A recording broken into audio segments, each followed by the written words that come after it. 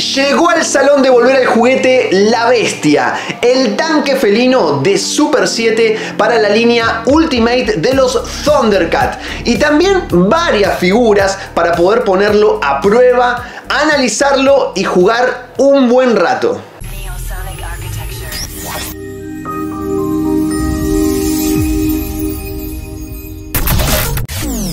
Comencemos a disfrutar de el arte de esta caja que está buenísima, es súper colorida, muy linda, dan ganas de recortar el cartón para hacer un lindo cuadro.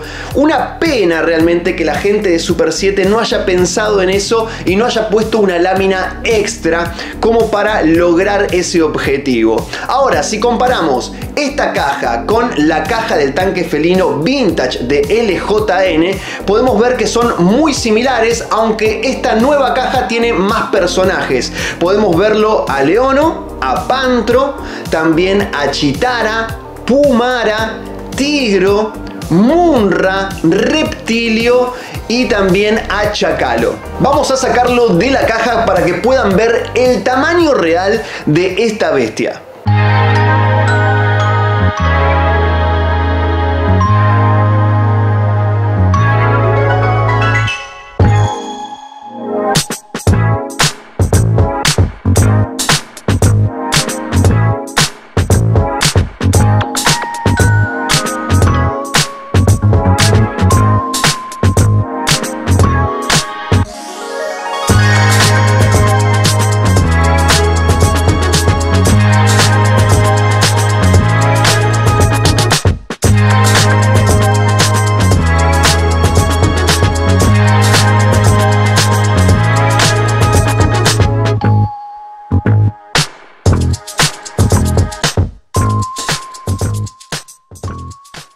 ¡Wow! Realmente hay que tener mucho espacio para poder exhibir este tipo de coleccionables. Es enorme, mide 65 centímetros de largo por 43 centímetros de ancho.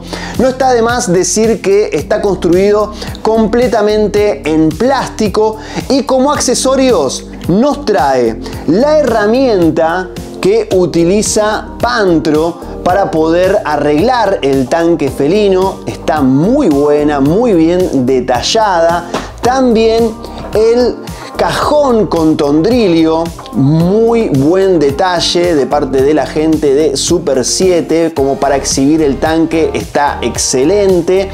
Y también la cúpula de acrílico que simula ser el vidrio de este tanque felino para que se puedan ver bien las figuras cuando lo están conduciendo. Qué hermoso que se ve el logo de los Thundercats acá arriba de lo que sería el techo del tanque felino. Eh, es, para mí es uno de los mejores logos de los dibujos animados, junto tal vez con el de Batman, el de Superman y el de Flash. Bueno, ¿qué les parece si jugamos un poco? Vamos a abrirle el techo, a ver con qué nos encontramos. Lo agarramos ahí del logo, vamos abriendo y esto es una belleza. Podemos ver un montón de controles lleno de botones, pantallas, radares. Vemos cuatro butacas, o sea que se pueden colocar cuatro figuras ahí sentadas, más una torreta que se extiende así hacia arriba una torreta con tres cañones láser. Miren los detalles de los comandos se mueven para un lado, ahí para el otro, también con botones de colores, la pantalla, esto simula ser una garra Está muy pero muy lindo. Me parecen que estos detalles suman un montón. Hasta hay una pantalla con el logo de los Thundercat y llena de botoncitos de colores. Esto es fantástico. Ahora sí vamos a descubrir la cabina de este tanque. Le voy a sacar el techo que simularía ser un techo blindado. Es muy fácil de sacar y poner realmente Si vemos adentro la cabina, la verdad que está buenísima, es bien amplia, se ven todos los botones nuevamente de colores, las palancas, esos manubrios con detalles en color rojo, parlantes, radares, dos butacas como para que se sienten eh, cómodamente Pantro y Leono. Voy a colocar el techo de acrílico que también es muy fácil de poner. Ahí está, queda bárbaro. Primero quiero que lo vean, que se luzca el tanque sin las figuras y después sí, vamos a colocarle todas las figuras y a jugar un poco. Ahora quiero mostrarles las patas de este tanque que son las que lo hacen tan original. Si elevamos la garra así de esta forma y bajamos la parte interna vemos que tiene un láser como para disparar y una rueda que es la que hace que este tanque se desplace. Las orugas traseras tienen un leve movimiento, pero por el peso del tanque, ahí ven, si yo hago así, se llegan a mover las orugas pero no logran desplazar el tanque porque este tanque pesa mucho, estará aproximadamente en los 10 kilos. Si uno lo levanta, le puedo asegurar que lo siente, pesa bastante. Ahora, la parte delantera del tanque, vamos a ponerlo así, le voy a elevar también la otra garra como para que ya se vea ahí bien, bien este, intimidante le voy a levantar su mandíbula. Se pueden ver los colmillos queda espectacular. Después tenemos otra arma secreta en la trompa de este tanque, demostrándonos cómo Pantro preparó a este vehículo con un poderoso arsenal. El tanque felino con estas garras puede trepar montañas, también funciona como submarino. Su piloto es Pantro, el cual es jefe mecánico e ingeniero junto con Tigro, quien es el que construyó el cubil felino. Podemos decir que estos dos felinos cósmicos son los más inteligentes del equipo. Otro detalle fantástico de este tanque son sus ojos que si apagamos la luz brillan en la oscuridad y son como una especie de faroles para iluminar el camino en la noche. Hay algo que sí se le puede criticar a este tanque y es que el plástico se ve muy limpio. Le faltan detalles de sombreados, de battle damage, de suciedad, como para ser una verdadera pieza adult collector. Como les digo siempre, se puede llegar a customizar, a retocar, pero pierde lo que es la originalidad de fábrica y eso no está bueno. Tendría que ya venir así de fábrica como para que la pieza sea realmente más interesante Ahora sí, vamos a jugar.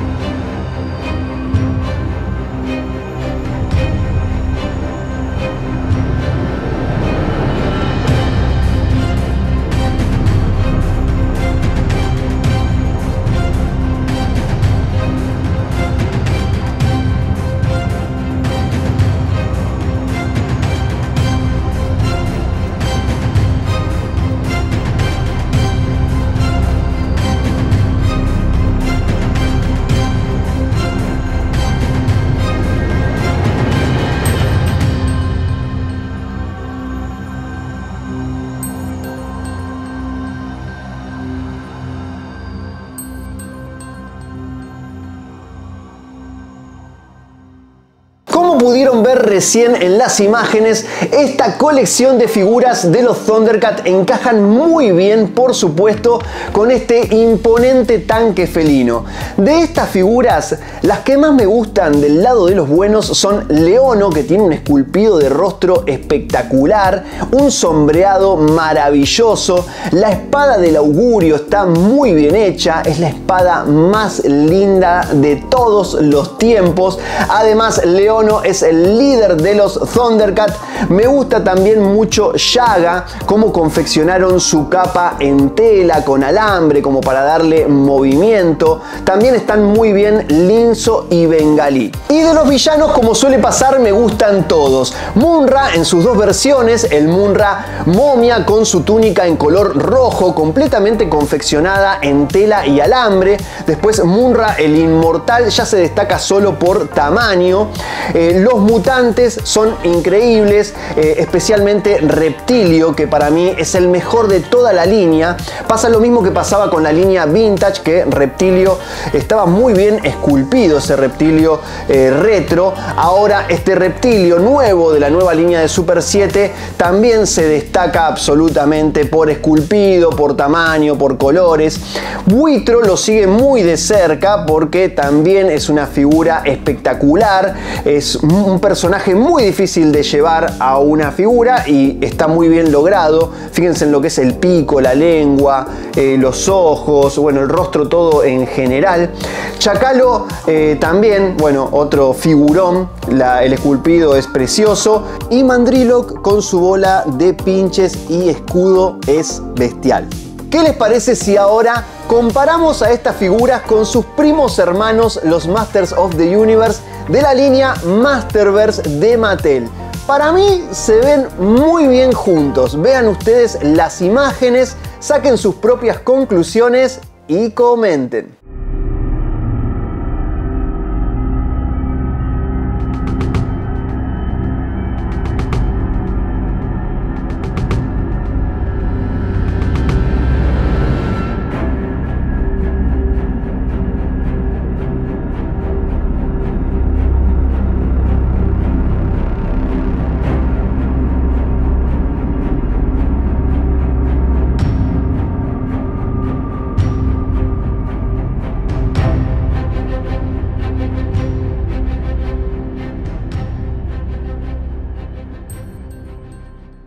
Volviendo al tanque felino, me gustaría compararlo con otros vehículos de diferentes escalas para que sigan viendo lo enorme que es. Empecemos con el Batimóvil del 66 de McFarlane, escala 1 en 18. No quedaría tan mal al lado del tanque porque bueno, es un vehículo que lleva figuras de 6 pulgadas y media y se acercan a las 7 pulgadas que tienen las figuras de los Thundercat. El DeLorean de Welly escala 1 en 24 sí ya empieza a perder protagonismo en la imagen. No sé qué les parece a ustedes. Escríbanlo ahí en los comentarios. Ahora vamos con el tanque felino escala 1 en 64 de Hot Wheels. Parece su mamá con su cría. Igualmente se ven muy lindos juntos.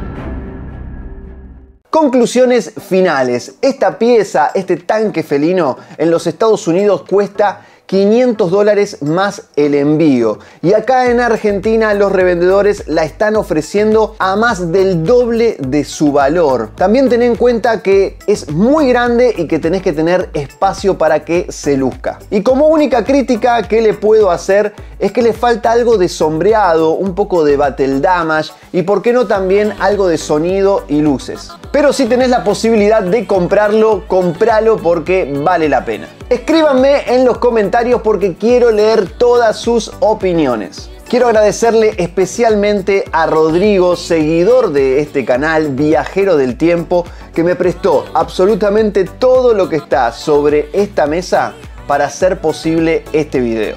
Muchas gracias por estar del otro lado, no olviden dejar su poderoso like, que es lo que hace funcionar a este DeLorean a 88 millas por hora. Viajeros, nos vemos en el futuro.